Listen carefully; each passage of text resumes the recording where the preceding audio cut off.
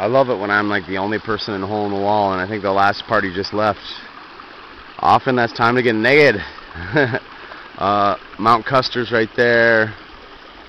One of the unique features of hole in the wall is so many streams come gurgling down into this thing and then shoot out hole in the wall falls. They just all the water disappears into a fissure crack, and uh, it's just sick. But uh,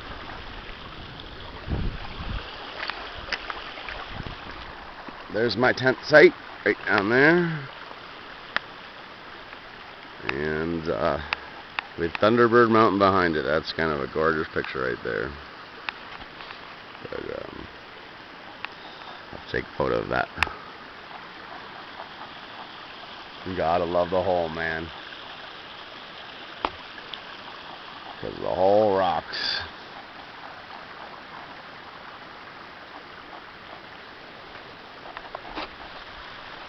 Glacier Park 2007.